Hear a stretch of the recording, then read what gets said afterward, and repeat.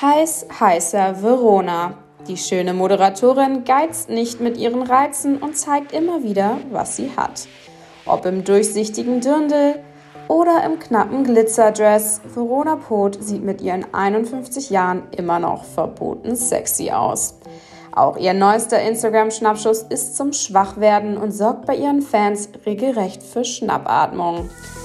Am Strand von Mallorca gibt die Zweifachmama nur im Bikini bekleidet ihre Kehrseite zum Besten, frei nach dem Motto: Ein schöner Rücken kann auch entzücken. Hier entzückt aber vor allem Veronas knackiger Allerwertester. Doch auch der Seitenanblick des prallen Dekolletés der 51-Jährigen kann sich durchaus sehen lassen. Verona überlässt mal wieder nichts dem Zufall und auch ihre Fans können vom heißen Anblick des Models nicht genug bekommen heiße Badenixe und gut, dass ich Feuerwehrmann bin, ist in den Kommentaren zu lesen. Und auch wir müssen sagen, Verona setzt ihre Kurven mal wieder perfekt in Szene.